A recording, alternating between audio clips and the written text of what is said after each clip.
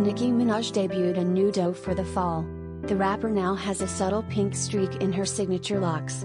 See the new look.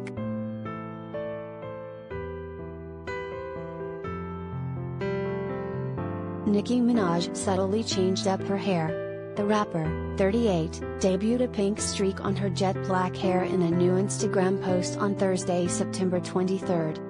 The Pink Friday artist is decked out in Chanel in the snapshot, wearing a long sleeve shirt, two purses, and sandals from the French luxury fashion house.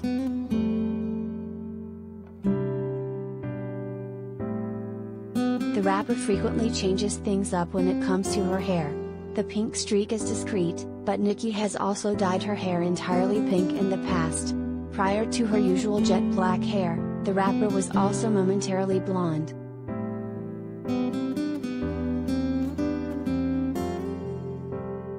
The makeover comes a day after Jennifer Hough, the woman who accused the rapper's husband Kenneth Petty of rape when they were teenagers in 1994, spoke out against the couple in her first on-camera interview on Wednesday, September 22. Jennifer filed a lawsuit against Nicki and Kenneth in August, accusing the two of witness intimidation, intentional infliction of emotional distress, negligent infliction of emotional distress, and harassment, among other troubling allegations.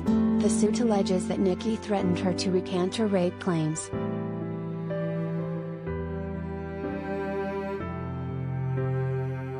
Jennifer appeared on The Real on Wednesday, recounting claims that Kenneth led her to a house at knife point and raped her. He was convicted and spent time in prison. I'm tired of being afraid, Jennifer said, later reflecting on whether justice had been served following Kenneth's conviction. I don't think I thought about justice per se because I was still blaming myself, she said. I thought it was something that I did or didn't do. So I don't think I thought about if I got justice. I just knew that he did what he did and he went to jail and I had to leave my family. I had to leave my home and I had to move away.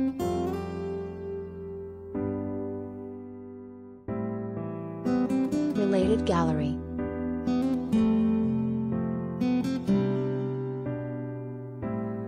Nicki Minaj's hottest looks of all time, photos.